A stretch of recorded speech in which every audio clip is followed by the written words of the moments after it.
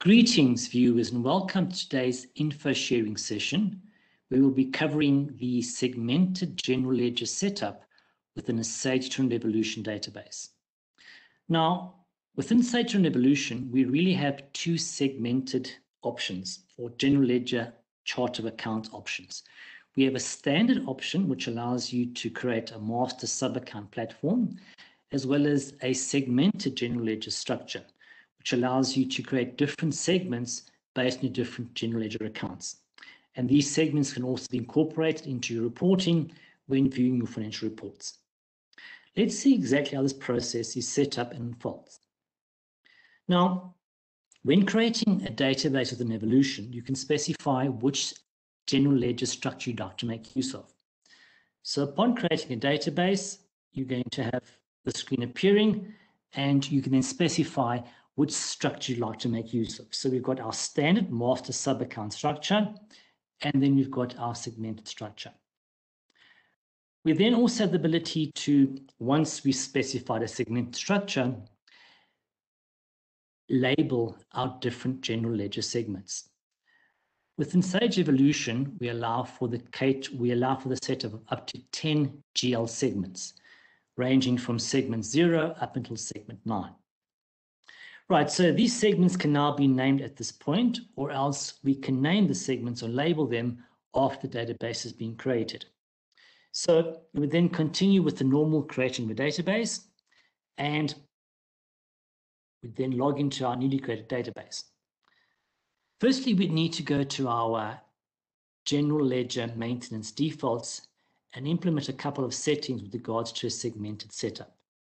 So general ledger maintenance, I'm going to go to my defaults and we have a segmented setup tab.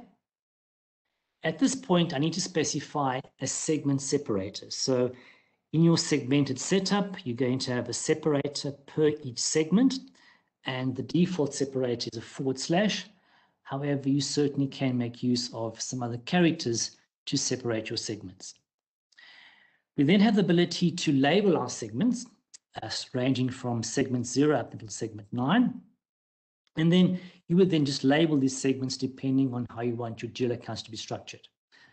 Um, in my case, I'm going to use the segment 0 and going to classify that as my account information. And notice is that segment 0 always needs to be used in your segmented setup. I'm then going to, for example, use province as my second segment or segment number one. And within province, I'm going to specify a city.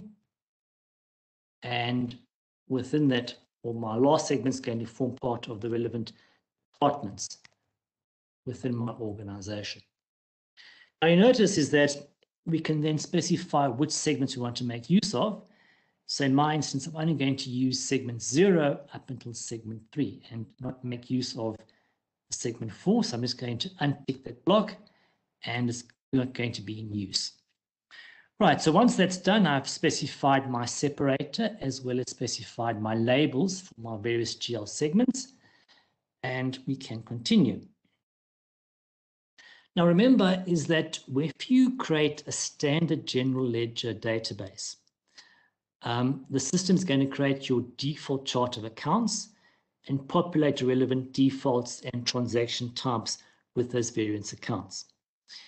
In the case of a segmented structure, the accounts are created only after the database has been created. So therefore, the various transaction types, the defaults, etc., aren't going to have those accounts available. So you are going to have these types of messages appearing, which you can obviously insert them at this point or insert them once the accounts have been created. So I'm just going to say no to all um, default messages and we'll come and insert those accounts at a later stage. Right, at this point, I just need to do an exit and log off so that it can implement uh, the segment structures that I've implemented. So I'm just going to say, I'm now at this point going to just exit and log off and we can then log back in and continue with this segmented structure setup. Right, so exit and log off. And I'm then going to log back into my database.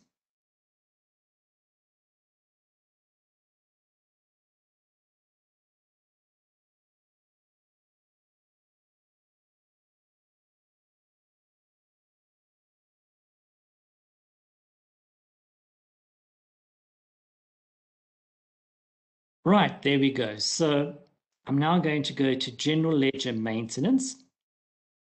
And what you notice is there's a section called Segments.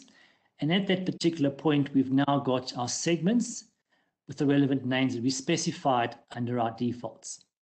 So now it's a case of simply going to our various segments and then going to input the relevant information that form part of the various segments. So I'm going to start with my account and add, and I'm going to give my segment, for example, a code, just say, for example, a 100 range, and that's going to form part of my sales account. Um, and then just simply add additional ones, so 200, and that can form part of, for example, fixed assets.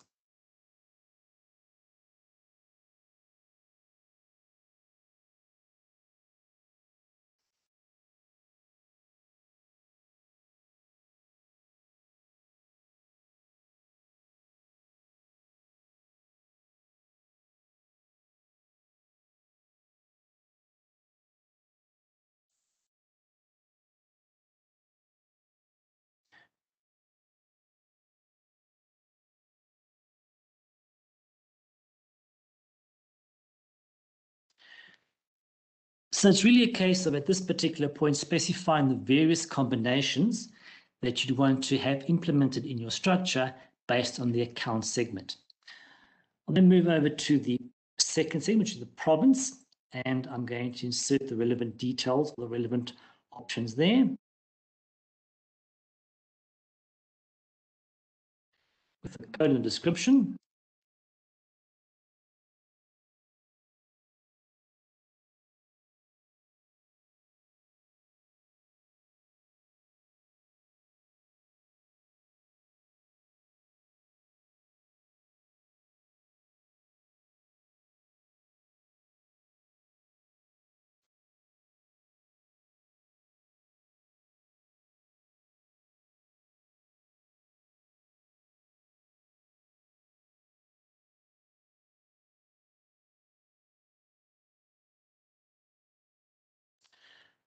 Okay, so I've created my various options for segment number two, and I'll move on to my next segment.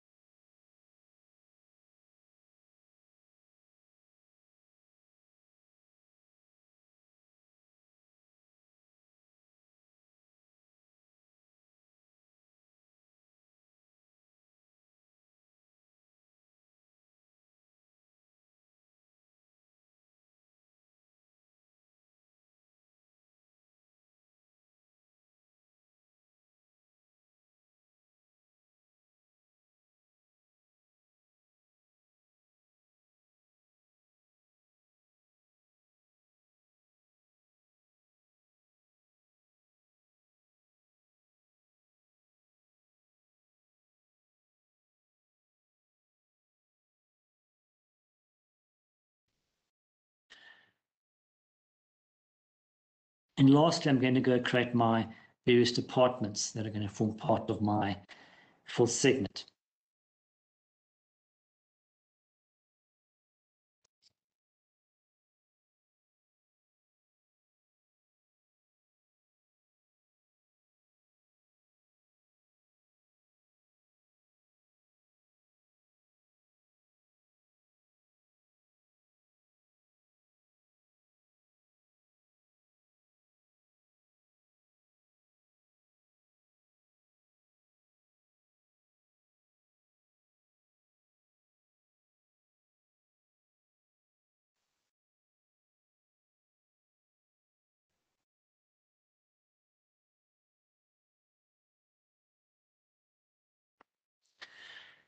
Right, so what I've got here is I've specified the various values that are going to form part of my structure under the four segments I've been making use of.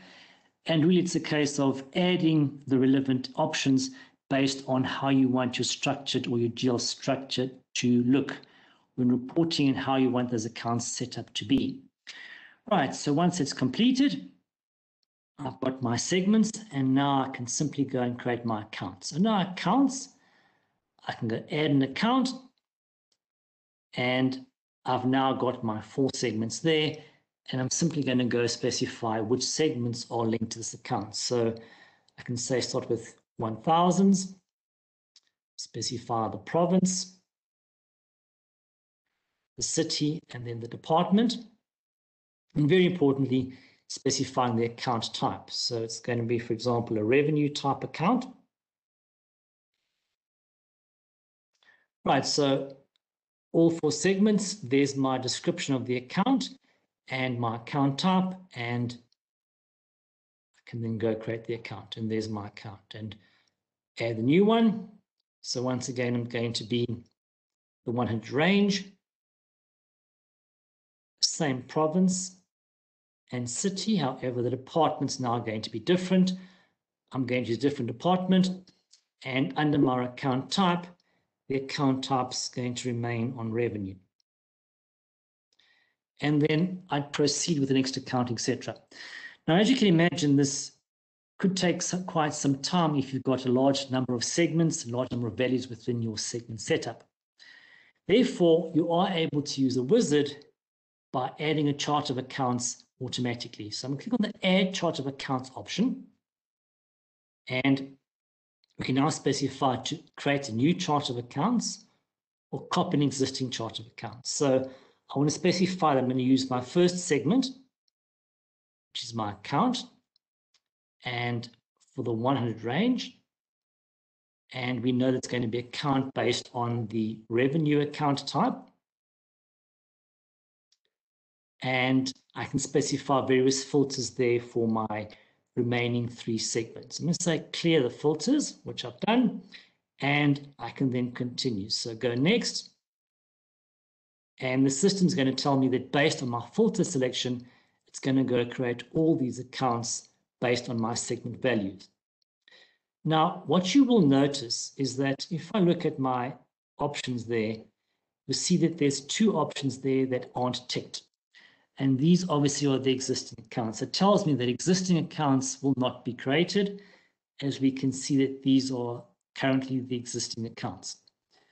Right, at this particular point, I'm able to either specify not to add the account for whatever reason, or skip the account.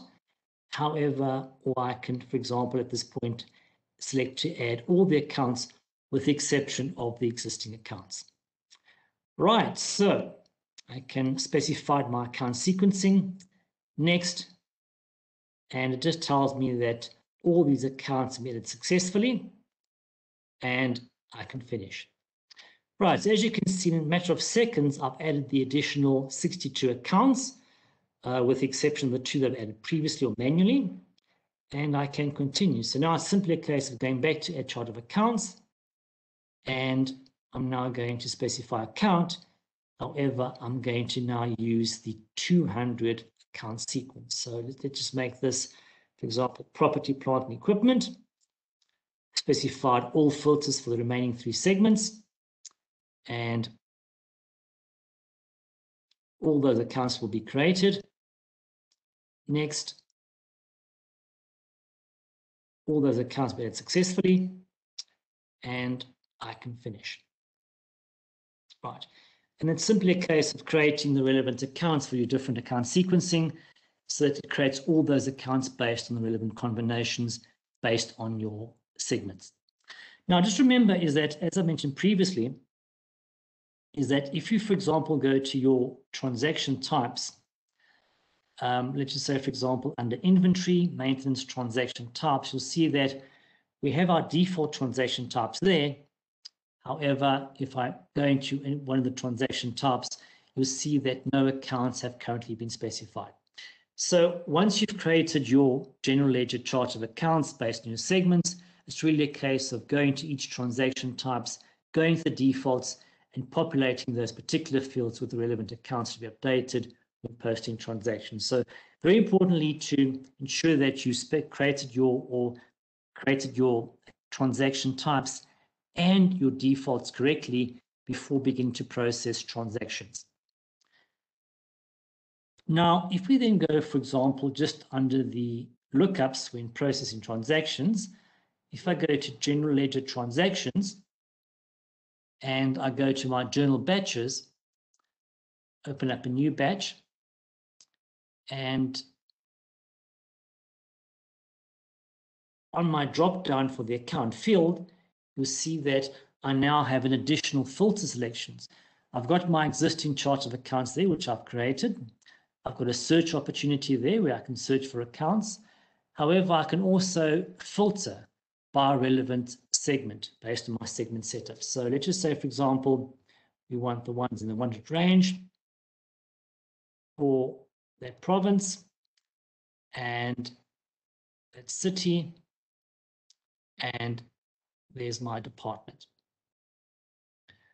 Right, so there we go. So as you can see, a real easy way for you to go and filter or search for accounts in the drop-down fields when processing transactions. Now, it's very important to understand that you need to really plan your segmented GL structure before implementing it on your live database. Always a good thing just to have a detailed plan, what you want your reporting structure to look like, and based on those plans, then go and create your various segments and specify the relevant values for those particular segments. Right, so thank you for tuning in. I do hope this presentation has been useful. It's over and out for me, and goodbye.